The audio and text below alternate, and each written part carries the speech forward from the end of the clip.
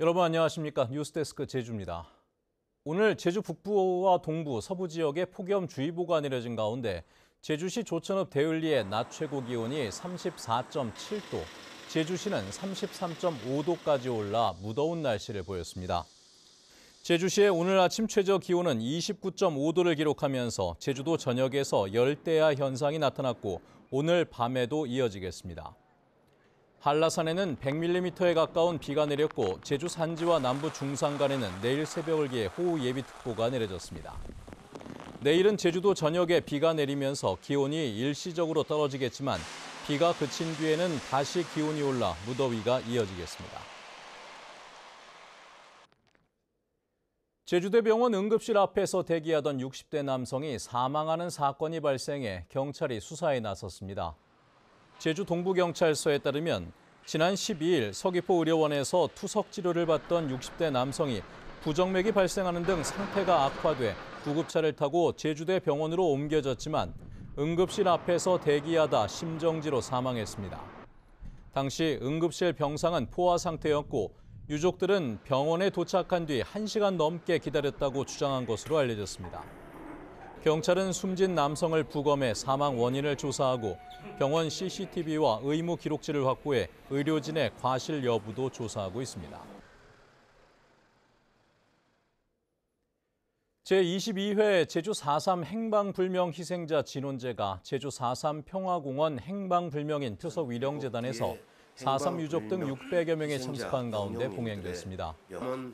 오영훈 도지사는 추도사를 통해 최근 행방불명인 희생자 신고가 완료된 만큼 꼼꼼한 사실 조사와 심의를 통해 최대한 많은 분이 희생자로 인정돼 직권재심으로 명예를 회복하도록 최선을 다하겠다고 말했습니다.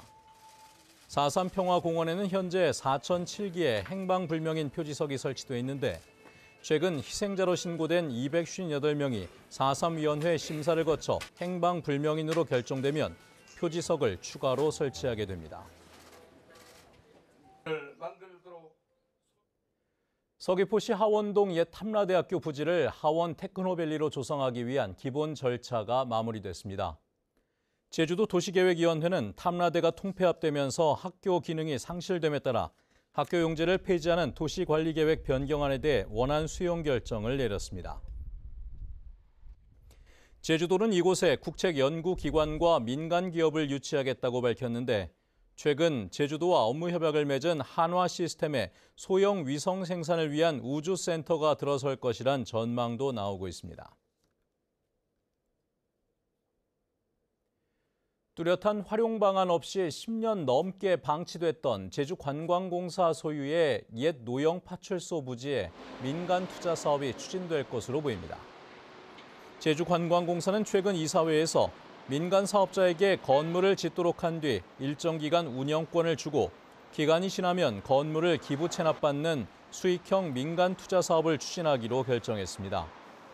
공사는 당초 부지를 매입했던 목적에 따라 관광 안내센터를 필수적으로 포함시키고 나머지 시설은 민간 사업자가 자율적으로 제시하도록 할 방침입니다. 제주 지역에 경찰 교육기관 설립이 추진될 것으로 보입니다.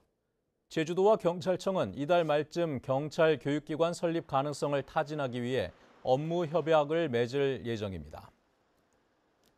양측은 제주도와 JDC가 경찰 교육기관 설립과 부지 선정에 협조하는 대신 제주시 연동의 옛 제주경찰청사를 제주도가 활용하는 방안에 대해 협의 중인 것으로 알려졌습니다. 어제 오후 제주시 노영동의 상가 간이 창고에서 발생한 화재의 원인이 담배불로 추정된다는 조사 결과가 나왔습니다. 제주소방안전본부는 불이 난 창고 근처에서 담배꽁초가 여러 개 발견된 점 등으로 미뤄 담배불 취급 부주의에 무게를 두고 화재 원인을 조사하고 있습니다. 이 불로 인한 인명피해는 없었지만 창고와 에어컨 실외기 7대 등을 태워 소방서 추산 2,900여만 원의 재산 피해가 났습니다.